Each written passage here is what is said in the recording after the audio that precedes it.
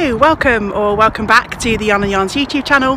My name is Angela and all of the places you can find me should be linked in the description box below this video. As you can see, I'm out for a walk this morning. Um, I've just dropped a package off to one of my lovely local customers. Hi Elizabeth, if you're watching. And uh, I've just got to this point where I've got an amazing view over Cardiff Bay.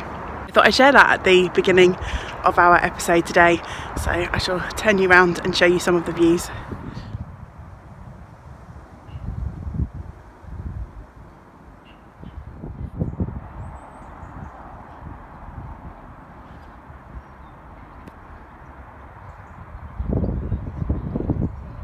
Enjoyed a few scenes from my walk this morning uh, I think I said welcome to Yarn and Yarns, but just in case I didn't, uh, welcome or welcome back. You um, are most welcome to my corner of YouTube.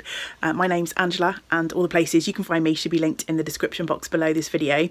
Um, and I chat about my adventures in knitting, spinning, crochet and weaving for the most part.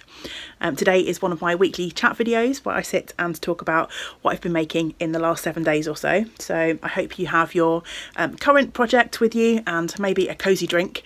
I have got a cup of tea um, today, um, well an infusion. I'm drinking Puka or Pucka Love, um, which I think is rose, chamomile and lavender. Um, and I'm drinking in my Yarn and Yarns mug, so shameless plug for my shop. and I've just put a pre-order up for these mugs.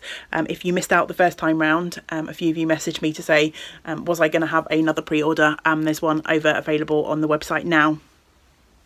Um, if you're interested in grabbing your own Yarn and Yarns mug for your favourite cuppa.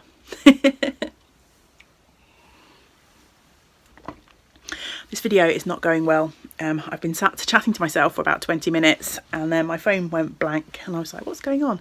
And I hadn't pressed record, it was just on photo mode. Oh, so hopefully I can remember everything that I wanted to chat about. Um, this week I have some knitting, some spinning and some crochet and if you entered our Yarn and Yarns um, Vlogtober make along then please stick around to the end because I'm going to um, draw the prize winners for that make along. And I also have some new prizes for our TGIF. Thank goodness, thank God it's finished, KAL, um, to share with you at the end too. So uh, yeah, all that coming up in the next 20 minutes or so. I think I'll start with spinning this week because my um, spinning stuff is at the top of the pile as I've just been chatting about it to no one. I've got three spins to show you this week. Yes, three. Um, so first, I just wanted to quickly show you uh, the finished yarn from the spin that I chatted about last week. Uh, this was my little experiment to see how much I could fit on my Ashford bobbin, uh, the e-spinner that I recently purchased, a gift to myself for my birthday. Um, comes with quite large bobbins and I wanted to do a little experiment to see if I could fit 200 grams of plied fibre onto one bobbin and I was able to do that. Um, I didn't think about the logistics of winding this off onto my niddy noddy though because um, I have got one giant, I don't think you really call it a skein, it's a bit of a mess but um, this is my 200 grams ish of fibre um, as wound off um, so it's been washed and set and I'm really pleased with how this yarn has come out. Um, I just did a um, traditional two ply and um, it's probably a DK weight, sport to DK weight, I would say. I haven't um, done any of the stats yet, um, but I'm really pleased with how this turned out. It puffed up quite nicely um, in the washing, so it's a little bit thicker than it looked when it first um, came off of the e-spinner. So yeah, I've got this ooh, big giant loop of fibre, which is really hard to skein up. I need a slightly larger niddy noddy if I'm going to do so much fibre in one go again. so um, I've got that and this little mini skein because um, I don't know if you watched last week's um, chat um, you'll know that I messed up in the uh, sort of setting up of my spinner when I first started this project so I ended up with a little sort of mini skein at the start uh, but yeah um, that's all done. Once again, I want to say a huge thank you to the lovely Kathy, um, who is Mountain Pearl, um, a member of our community here, um, who so, so generously gifted me this fibre. Um, so thank you so much, Kathy, for giving me the opportunity to have a play to see um, how much fibre I could fit onto my bobbin and also for giving me the opportunity to um, spin with a fibre that would not be um, otherwise easily available to me here in the UK. Um, I'm really thankful for that opportunity and I feel very lucky to have um, been able to um, spin up this beautiful yarn from that fibre. Thank you so much. Um, I have been thinking about possibilities for this yarn. I need to do a bit of um, measuring and calculation. Um, I recently saw um, a really beautiful version of the, I'm not sure if it's called Seeker or Silka. Um, I'll put the name on the screen. It's a shawl by, by Dawn Landex and um, it's a triangle shaped shawl, a simple twisted rib, I believe. And um, the original um, sort of pattern sample is in this beautiful deep green. Um, it looks stunning. Um, and if I remember, I'll put a picture of that up on the screen now. Um, but I recently saw um, a colourful version of this shawl. Um, and immediately when I saw that version, I thought of this yarn. that pattern uses a four ply yarn. and as I say, I think mine is more of a sport to DK. Um, so I might have to do some calculations to see whether I think I would actually be able to get a shawl um, out of the yarn that I have. Um, but that's kind of um, ruminating in the back of my mind at the moment for this project. If not, uh, this yarn will go into my handspun stash um, for a little while and I'm sure the perfect project will come along at some point. If you were able to follow along with Vlogtober, um, you'll know that on the last day I spent some time blending up some bits of fibre um, that were sent to me um, by the lovely Mandy. Um, hi Mandy. Um, and I used my hand carders to blend up um, and make a little mini skein um, ready to knit into a gnome which will be one of the prizes that I will give away at the end of the video and so this is the little mini skein that I came up with for that I mixed up some yellows, some oranges, uh, a bit of red and some brown to make this kind of autumnal uh, mini skein and I'm going to pair that um, with this other uh, mini skein that I spun earlier on in October um, again from another little sample that uh, Kathy sent me and I'm going to pair these together um, for a little autumnal name for our um, Vlogtober KAL prize or one of them. The final um, spin that I've been playing around with this week um, is a new spin on my e-spinner um, earlier on in the year, I ordered some fibre from Smith Studio Designs here in the UK. We were chatting on Instagram and I ordered some fibre and she was just about to come out with a new sock blend. Uh, so I think this is something like, uh, I don't have the label with me, I've left it downstairs with the rest of the fibre. Um, it's something like um, 75 or 80% um, Blueface Leicester and then 20% nylon with some sparkle too and um, I said to them uh, just send me a surprise colourway I don't mind what it is. And I got the Witch's Pyre colourway um, which was two 50 gram um, bumps of fibre um, one in this lovely tonal grey. And the second half of the fibre um, which I'm spinning at the moment downstairs um, was a pink colour tonal pink. And I was aiming to spin a three ply sock yarn it's my nemesis trying to get a fingering weight three ply sock yarn for my fibre. Um, every time I try a three ply um, I end up with something more akin to sport DK and I think this is slightly finer than some of the other um, spins that I've done before. I'm looking next to me because somewhere handy I should have my last attempt at this but I can't find it. It doesn't really matter um, but I've this is definitely the finest um, three ply. I did a chain ply um, for this fibre. Uh, it's definitely the finest that I've come up with so far in my attempts for sock spinning. Um, but it's still slightly thicker than a commercial um, sort of four ply fingering weight yarn. Uh, if I grab some commercial, hold these on my finger together, my camera's probably not going to focus, but I'll try it and zoom in um, but I think you can see on my finger there um, my three ply is a little bit rounder a little bit um, sort of fatter. Um, it's not too far off though. Um, so I think this is kind of heavy fingering to sport weight rather than sport to DK so I'm happy with that. Um, you may be wondering why I've got three mini skeins one of which is rapidly coming unravelled a chain ply can show up um, any weaknesses in your spun singles um, you're basically, when you're plying your yarn, um, it's almost like a sort of crochet chain stitch. You are pulling up um, a length of your um, singles through another loop of your singles. It's a bit difficult to explain, um, but um, there's quite a lot of tension on your singles when you're doing it and um, as you can see my yarn broke um, in several places and I ended up not bothering to join it but to just make several mini skeins. Um, my plan for these socks when I spin the other half of the fibre sorry hair getting in the way um, is to make some striped socks. Um, I'm not sure yet whether I'm going to do sort of large stripes or whether I'll do um, a one row stripe using the helical knitting technique. I haven't decided yet. Figured it didn't really matter if I ended up with bits of yarn rather than one um, full skein. I've got the second half of this to spin and then I can hopefully knit up some hand spun socks which will be something exciting to look forward to. On to crochet next I think. Um, last week I had, yeah crochet two weeks in a row uh, but last week I made that one tiny little granny square so probably didn't really count. Um, but I have been working on my Babette blanket uh, this week. Um, as part of my Vlogtober um, series of videos, um, I chatted about my making plans for the rest of the year. And if you are interested but didn't watch that, I'll pop a link up in the corner here.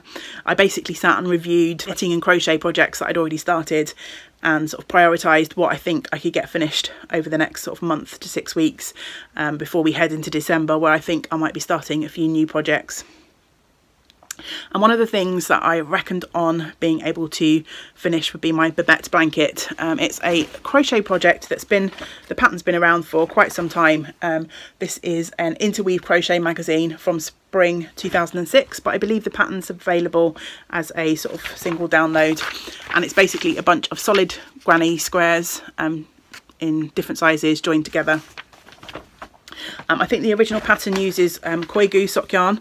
Um, I picked some woolly um, yarn that I got at Loop in London and I'm on the joining process now. I've been on the joining process for a while, um, but this is the centre panel of my blanket, which I had already um, joined um, before I started working on this this week. I'm just going to push you back a little bit so I've got a little bit more room to hold these up.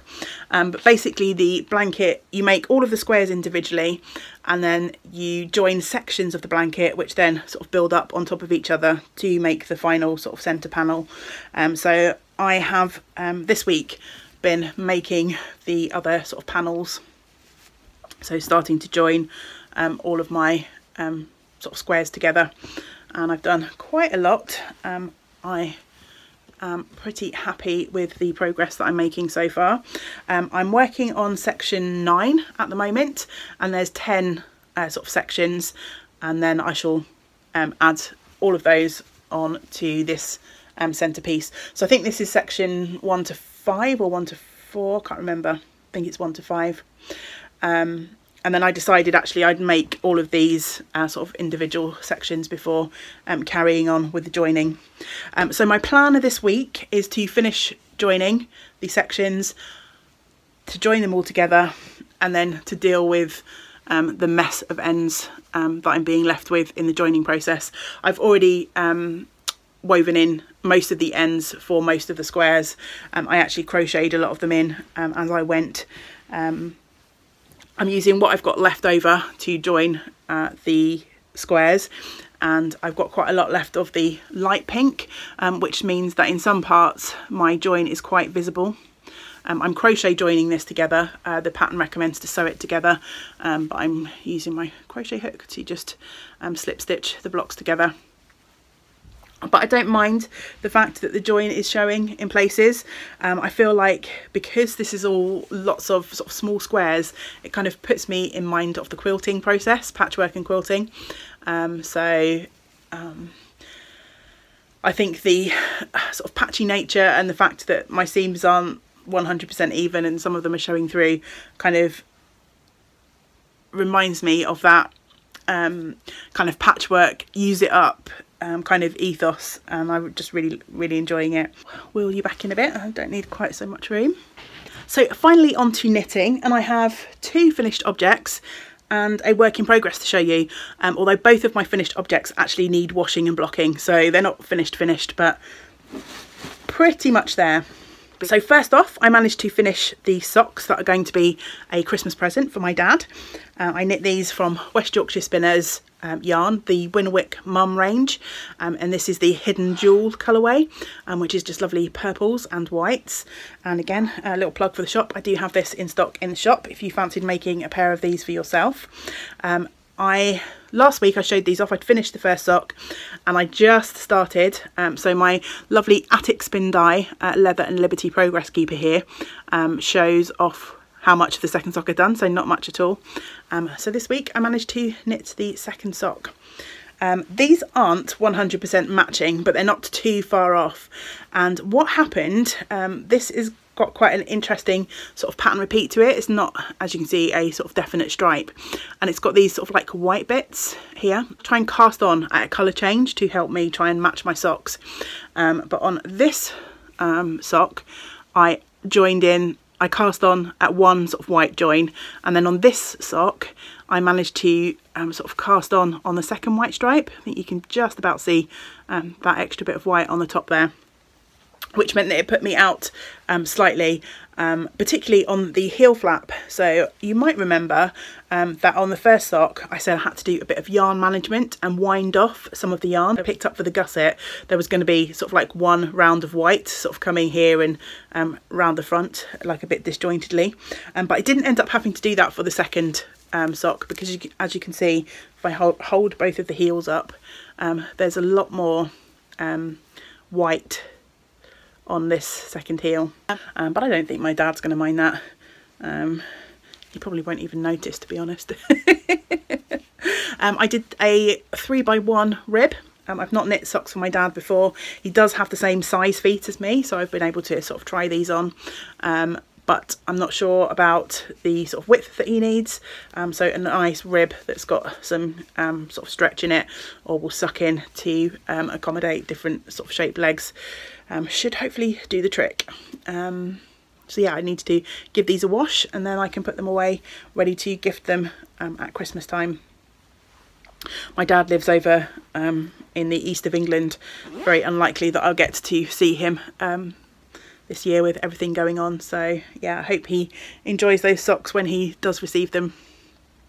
Second finished object is my Waiting for Rain shawl. Uh, this was one of my 12 cast-ons for last year and this was also on my sort of hit list for projects to get finished by the end of the year.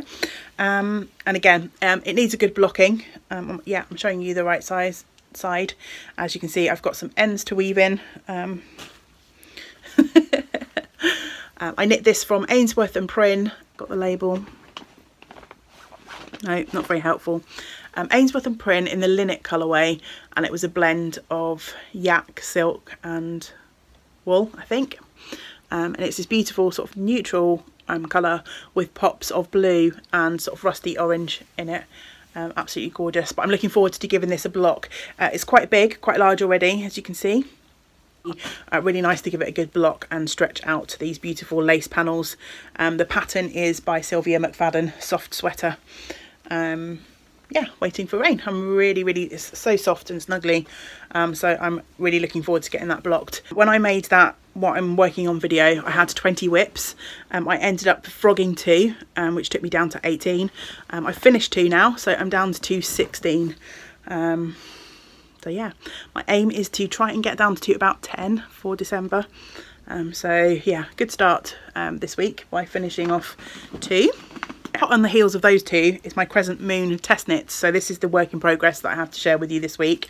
And I am on to the border section um, of this shawl.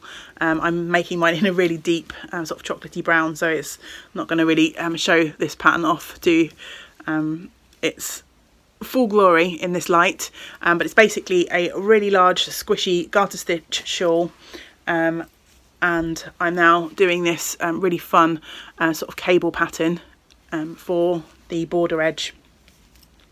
I think I'm three quarters of the way through one repeat and I've got two repeats to go and this was just a couple of hours of knitting um, on Sunday morning. So um, I'm fairly confident that with just an evening or two of work um, this will get done. I wish I could show this off a little bit more uh, nicely. Holding it up against the light is not really um, showing this off at all and it's huge as well, which doesn't help, but you get the gist and I did put a picture on Instagram um, of some of the uh, lovely cable details so you might have um, seen that already. in the pursuit of showing you that my shawl is falling off. Uh, the shawl that I'm wearing was a lovely gift from my um, fabulous friend Jeanette and if you watched the last day of Vlogtober you'll have seen me um, opening up the package um, with this surprise gift in. Everything for the making this week. Um, I do want to quickly show off a couple of prizes that have come in for our TGIF make along um, and again I did show these um, on the Vlogtober videos but I appreciate that not everyone um, will have been able to keep up with those so I wanted to show them off here. Um, first off I got some handmade um, items of gorgeousness um, from the lovely Ellie um, she hand spun and then hand wove two pouches that I'm going to give away here as part of the make along. Aren't they just glorious? So this one is a lovely uh, zipper pouch. And then I have this a drawstring pouch. Um, she did also send a third, which I have got here. Um, and I have been persuaded to keep this. I haven't started putting it in use yet because I wanted to show it off here first. Um, but she did say I could keep one and I was umming and ahhing and um, a few of you encouraged me to keep this one for myself so I think I'm going to, I hope you don't mind. Uh, but this will be the perfect size to put my Kindle in. Um, so yeah, this one's staying with me I'm afraid. mine, mine. um, but these two um, will be given away as part of our um, TGIF KAL. Um, so thank you so much, Ellie, for donating those. They're really, really beautiful for um, encouraging me and allowing me to keep that third piece that you made. And the next prize donation that came in this week uh, from the lovely Andy and Angela at Attic Spin Dye um, and they sent some yarn and some stitch markers for me to give away um, as part of that uh, make along so I have got three of their uh, Liberty and Lace uh, progress keepers and you saw mine um, on my dad's sock project. Um, they were so kind as to send me one of these in a previous uh, package. Um, so I've got a set of those to give away. There's an acorn um, a bird, a snail, a clover and a fox in that set. a lovely little set of progress keepers that is. Uh, thank you so much to um, Andy and Angela for those. But not only did they send that, they also sent um, two glorious skeins of yarn for our uh, TGIF make along and an additional prize which is going to become an extra prize for our um, Vlogtober make along which I shall be drawing the winners for shortly. Um, so first off, I've got a skein of Stormy Sunset, um, which is their DK weight yarn. Um, glorious purples with some rusty um, sort of orangey colours in there. Uh, this is just so, so pretty. Um, and there's another Acorn Progress Keeper attached to that. Um, so this is their Superwash DK Merino Nylon base. Alongside that, they also sent their Grouse on the Moor colourway, which is their four ply base. Again, Superwash Merino Nylon um, and look at those beautiful saturated colours, greens and rusts again.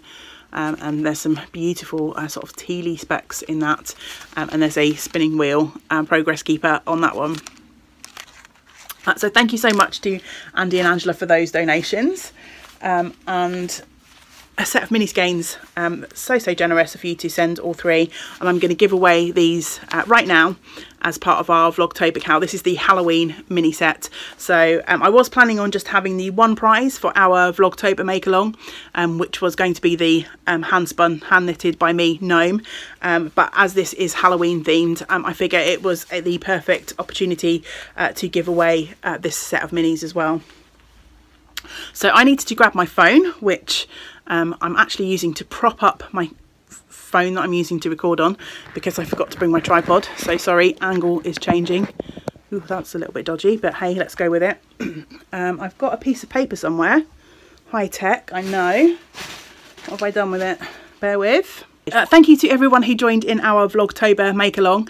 Um, we ended up with about 75 entries, um, including the projects that I made, um, which was the pair of socks for um, my mother-in-law for her birthday and my spinning I'm counting that as part. Obviously my name doesn't go into the prize draw um, but with my entries there was about 75 um, projects finished all together um, and made during our make along posts 2 to 58 on Ravelry um, I had some people email me with their finished objects um, and then the rest um, have come from Instagram and I've just put numbers by the side of all of them. Um, if one of the Ravelry numbers comes up then I'll have to look that up but I've got a random number generator on my phone. Right, I'm going to try that again. I started doing this number generator thing and it wouldn't generate a number. but I think that was my fault. I messed up the program. So random number generator on my phone. Um, number two is the first post on Ravelry. Um, and then I have assigned um, numbers to um, like the emails and the Instagram posts. Um, so we've got um, 2 to 73 and then hopefully this time when I press it we'll get a winner. So this is for the mini skeins. 27. 27, okay, so that's going to be one of our Ravelry posts. So bear with me a second.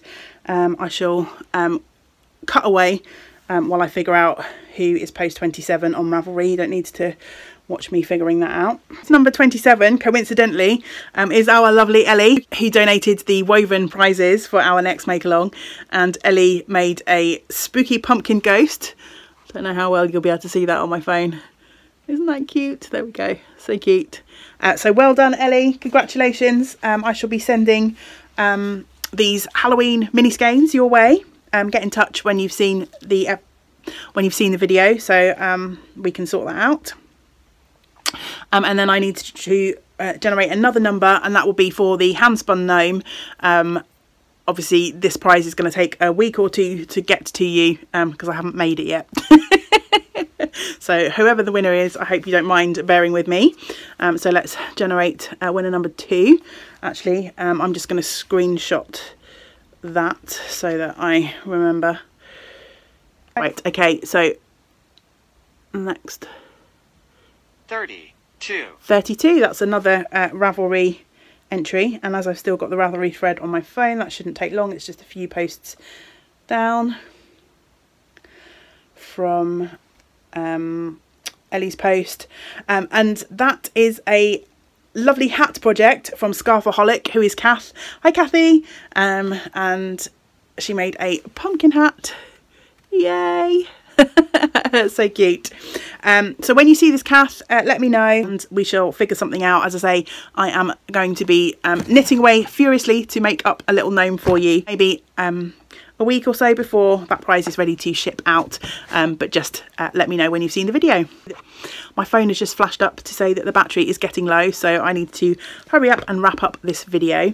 Um, thank you to everyone who um, joined in our Vlogtober make along. Um, I wish I had prizes for you all but um, there were some absolutely amazing projects and the fact that we got to do like 75 finished projects in a month is just brilliant, mind-blowing. Um, so don't forget we still have our TGIF make along going from um, for the rest of the year.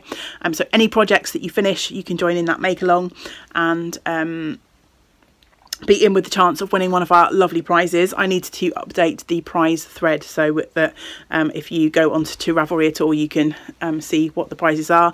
Um, but um, I shall show them off regularly between now and the end of the year.